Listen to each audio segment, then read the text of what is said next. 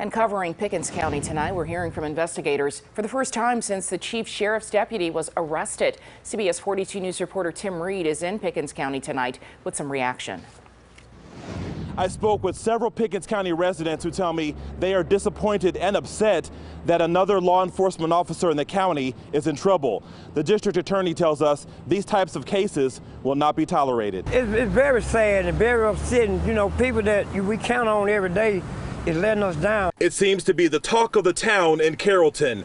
Many people are disappointed that Jonathan Gann, the former chief deputy for the Pickens County Sheriff's Office, was arrested. I think he should be processed, arrested, and go through the court system. Uh, they make bond, make bond, and go to court and be held accountable for it. Gann is charged with theft of property and tampering with evidence.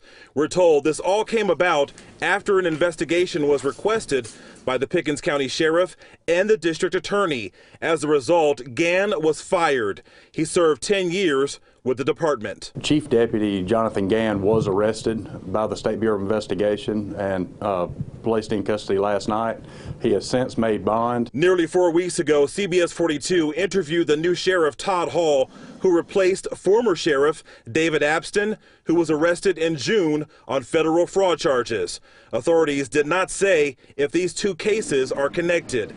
The man you see here wearing the black shirt is Jonathan Gann. That investigation yielded um, facts and evidence um, that pointed to um, criminal culpability in regard with Chief Gann. Well, I was both surprised and uh, disappointed.